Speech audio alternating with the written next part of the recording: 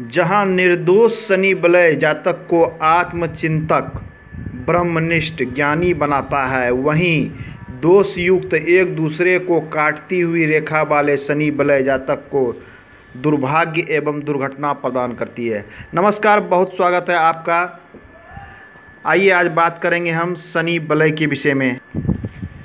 सर्वप्रथम फॉर्मेशन बनता कहाँ है, कैसे बनता है? ये कुछ इस प्रकार से रिंग नुमा बनता है, जिसके कारण इसे मुद्रिका भी कहते हैं, शनि मुद्रिका।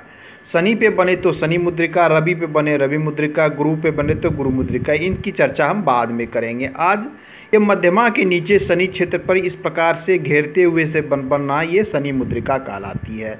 अगर ये निर्दोष हो स्पष्ट हो और गहरी हो और ग्रहों की युति आपकी शनि ग्रह, गुरु ग्रह अगर अच्छे स्थिति में हो तो ऐसे जातक के जो शुभ परिणाम प्राप्त होते हैं, आत्मचिंतक, ऐसे जातक आत्मचिंतक, चिंतन करने वाले ब्रह्मनिष्ठ, अच्छे किसी विषय पर ये अच्छे ज्ञानी, ईश्वर भक्त, गुरु की स्थिति अगर अच्छी हो तो ऐसे जातक अच्छे दार्शनिक भी साबित होते हैं।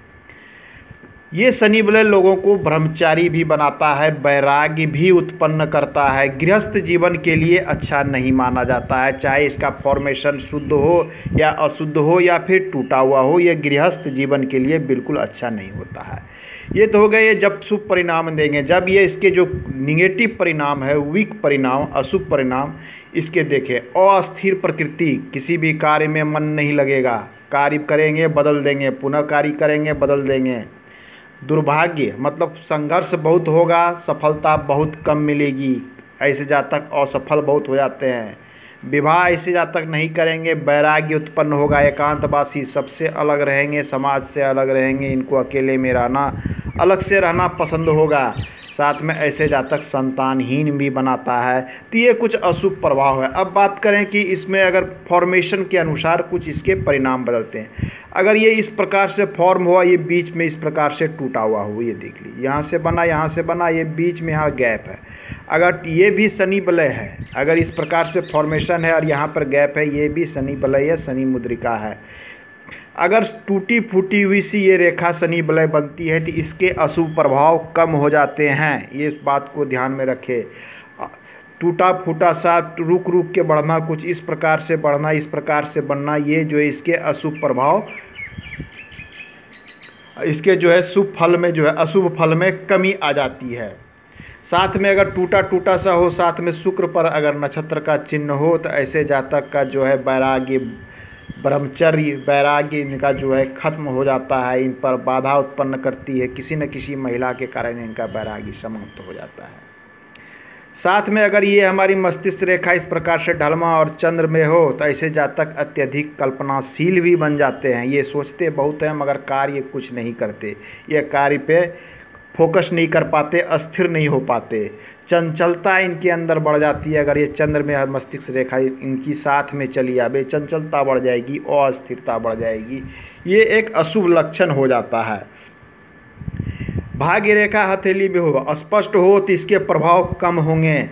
स्पष्ट और शुद्ध हो, लेकिन भाग्य रेखा अगर स्पष्ट शुद्ध नहीं है, मान लीजिए ये लहरदार है इस प्रकार से, या फिर भाग्य रेखा है बीच में टूटी हुई है, ये देखिए, टूटी हुई है इस प्रकार से।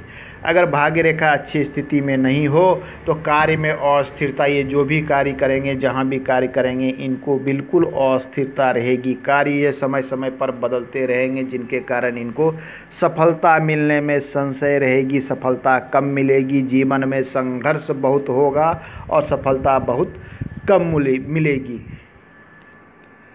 एक दूसरे को काटती हुई अगर इस प्रकार से बने, एक रेखा इस प्रकार से काट दे। इस ऐसा शनि बलय बनना बिल्कुल अच्छा नहीं माना जाता है।